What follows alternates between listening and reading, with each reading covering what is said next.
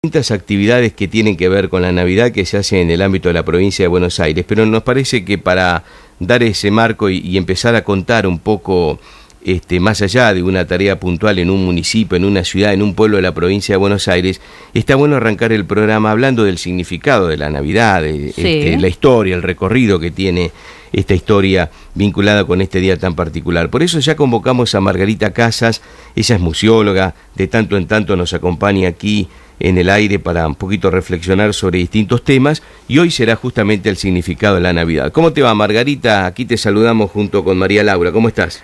Hola Marcelo, hola María Laura. Hola, ¿qué Bueno, tal? Mucho gusto. Gracias, muchas gracias por invitarme a charlar un ratito de esto que estamos viviendo tan inminente, ¿no? Exactamente, Eh, que uno por ahí, Margarita, se queda en la historia del Papá Noel, de la Navidad, del 24 a la noche, del 25, digo, pero este, y más allá de un sentido, si se quiere, por supuesto, religioso, que tiene este, este significado. A ver, danos tu, tu apreciación desde el recorrido histórico ¿no? que, que tiene esta fecha. Esta Bueno, fecha. mira, si vamos a empezar, por ejemplo, el por qué eh, celebramos 25 de diciembre eh, la Navidad como nacimiento de Cristo, eh, en realidad, si nos ponemos a pensar históricamente, no está bien eh, esclarecido si nació Jesús el 25 de diciembre. No había fecha, la- incluso el, el calendario gregoriano fue posterior como para este, ordenarnos en ese periodo.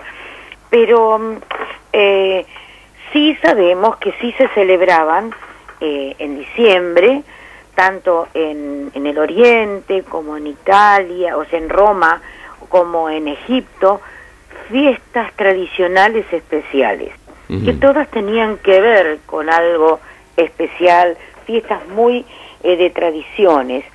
Eh, eh, por ejemplo, eh, en Roma se colgaban guirnaldas en las puertas, había luces en todas partes y había celebraciones. ¿Por qué? Porque cambiaba el tiempo eh, y, bueno, eh, tenían que ver con las cosechas, que eso es sumamente importante porque los primeros calendarios se hicieron siempre de acuerdo a las cosechas, a la siembra, al riego, a la sequía.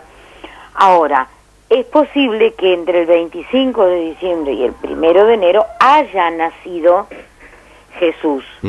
Entonces, eh, se, se celebra porque, bueno, eh, con los años sí se fue estudiando para buscarle esa fecha que coincidiera con estas celebraciones. Eh, lo tenemos como tradicional el pesebre, eh, el lugar donde estaban los el ganado, o sea, las vacas, los burritos, las ovejitas. Eh, el tema era que como se iba a hacer esas celebraciones, María y José no tenían un espacio donde alojarse y ella estaba por este, tenerlo ya a Jesús, entonces le ceden eh, un lugar para que estuvieran bajo cobijo, que era un pesebre. Entonces el calorcito, según las tradiciones, se los daba el aliento de la vaquita y Mm. del, este, del burrito. Pero también está el tema de los tres reyes magos. Ellos, eh, cuando ven esa estrella brillar en Belén, acuden porque alguien les dijo que estaban haciendo el rey de Judea.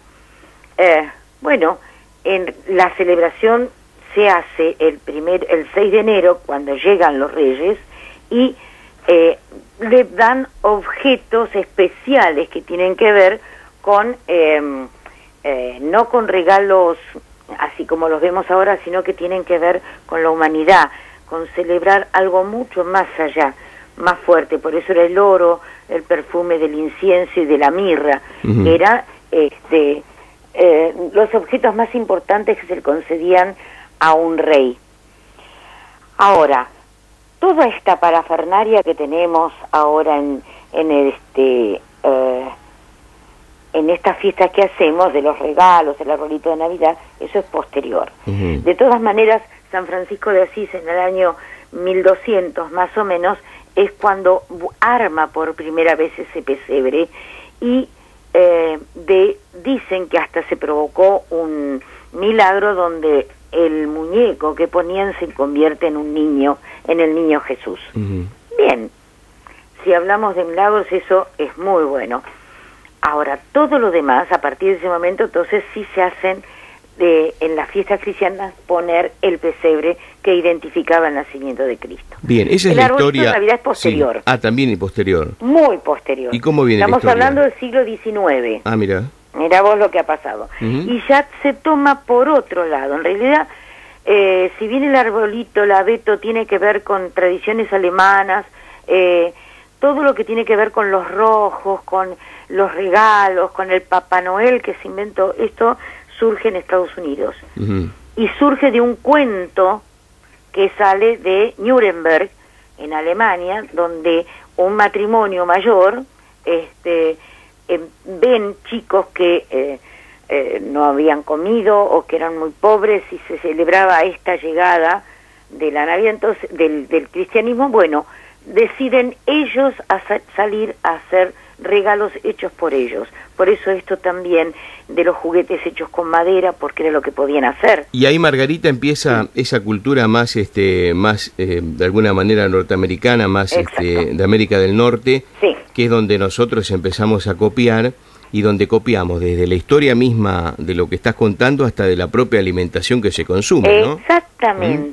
Todo. Lo te olvides que los rojos fueron impuestos por Coca-Cola, mira. Mira. Este, con el o Papá sea, Noel el, rojo. el, Papá Noel rojo es Coca-Cola pura. Exacto. Sí, tal cual. es así. Ahora, las comidas son los agasajos, la fiesta que se pretende eh, ya desde, la, desde el paganismo, eh, precisamente en algo nuevo. O sea, las grandes comidas, no para saturarnos y llenarnos, sino este, celebrar algo distinto, hacer comidas muy diferentes. Nosotros como que no somos un pueblo netamente europeo, porque nos han llegado todo lo europeo, la, la gran inmigración, y bueno, hemos adoptado muchas cosas que tienen que ver con este, comidas europeas donde hace frío. Pero ¿cuántas veces queremos comernos un buen pedazo de pan dulce en pleno julio? Con un buen mate a la mañana. Eh, ya está decidido con mis hijos, vamos a empezar a frizar pan dulce, así ya para el invierno tenemos. Claro, sí, es verdad, pero este y digamos eh, uno metiéndose un poco en el marco histórico, primero e, esa duda de eh, la llegada, la, fecha, de, viste que la historia te va dando permanentemente dudas, ¿no? De lo que ha pasado, ¿no? Lo que dicen los libros, con lo que se investiga posteriormente ya este, está como en, riesgo saber cuál es exactamente la fecha de nacimiento de, Jesús. Claro. como que, digamos, uno presume que viene a partir de esta historia del 24 y del 25, pero ya como que este, tampoco está súper confirmada esta cuestión. Claro, lo que pasa es que sí, celebramos la llegada de Cristo que viene a salvar a la humanidad. Mm. Esto es fundamental, esto es el cristianismo. Ahora, la fecha exacta aún no se sabe, pero es muy lógico este que pasen este tipo de cosas porque no había una documentación. Puede ser que se vaya estudiando eh, por métodos tan nuevos, eh, quizás precisamente eh, cuánto más se puede acercar, pero sí está entre el 25 y el primero, 25 de diciembre y primero de enero, que es más o menos el, la fecha que se ha logrado llegar eh, claro, lo que pasa que eh, estamos hablando de más de dos mil años. Claro. Eh, lo importante es esta llegada. Es más, el cristianismo a veces dice que eh, suele que la fecha más importante es la fecha de Pascua, porque es cuando Jesús muere y sube, asciende a los cielos. O sea, como cristianos conocemos que tenemos una vida eterna después de la muerte. Entonces la celebración sería entonces la muerte. Pero también está su nacimiento, que es la gloria de que alguien vino a este, salvarnos, ¿no? este, eso es más que interesante. Eh, por eso, bueno, celebramos el nacimiento, celebramos, eh, así como celebramos nuestros cumpleaños, el nacer. Pero bueno, viste que yo una vez comenté el tema de por qué nuestras fechas patrias muchas veces el día de San Martín o el día de Belgrano, siempre es el día de la muerte. Sí, eh. Precisamente por eso, porque como eran cristianos, se celebra la muerte porque es que ganás la vida eterna, la luz que no tiene fin. Claro, tal cual. Mira qué interesante. Bueno, nos quedamos reflexionando porque a partir de ahora en el programa Margarita iremos por distintas entrevistas que hablarán justamente en algunas de ellas sobre la Navidad, sobre el espíritu navideño, pero está bueno este, siempre eh, focalizarlo en, una, en un marco histórico como para empezar a conocer los orígenes de lo que después vamos a empezar a estar hablando. Así que este, ahí arrancamos contigo eh, esta, esta historia que, que, nos lleva entonces a conocer eh, la historia de la Navidad. Margarita, a propósito, que, tengas una, una feliz Navidad y, seguimos, por supuesto, en contacto. Y levantemos una copa y brindemos porque tengamos un 2018 más este unidos.